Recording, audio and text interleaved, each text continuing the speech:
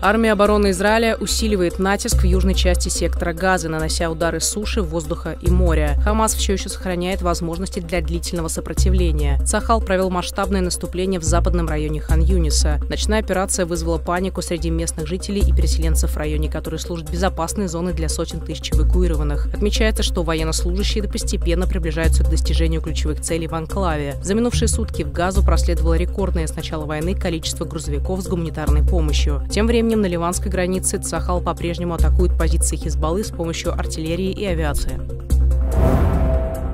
Премьер-министр Израиля Бениамин Нетаньяху категорически отверг условия, которые Хамас поставил для освобождения заложников. В обмен на пленных террористы потребовали прекратить войну, вывести войска из Газы, освободить из тюрем всех убийц и насильников из Нухбы и сохранить власть Хамаса. Нетаньяху сообщил в видеообращении к гражданам, что если согласиться на такое, то невозможно будет вернуть эвакуированных домой и обеспечить безопасность гражданам страны, а следующее 7 октября будет лишь вопросом времени. Семьи похищенных обеспокоены заявлением премьер-министра. Возле резиденции Нетаньяху Нетаньяху в Иерусалиме они установили палаточный городок с надписью «Мы любим своих детей сильнее, чем ненавидим Хамас».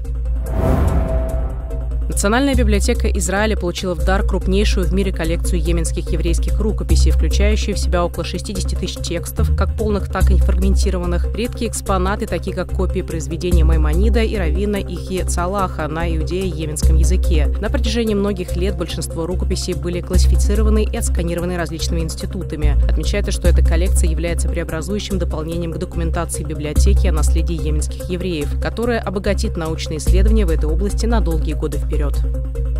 Thank you